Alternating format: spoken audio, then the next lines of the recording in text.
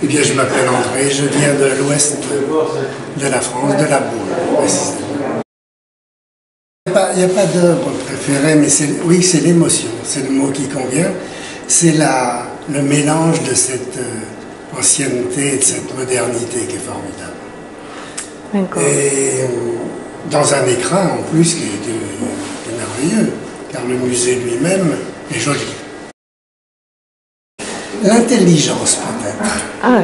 Parce que c'est pas évident à juxtaposer des, toiles d'artistes du XXe siècle et, de la Grèce antique. L'intelligence.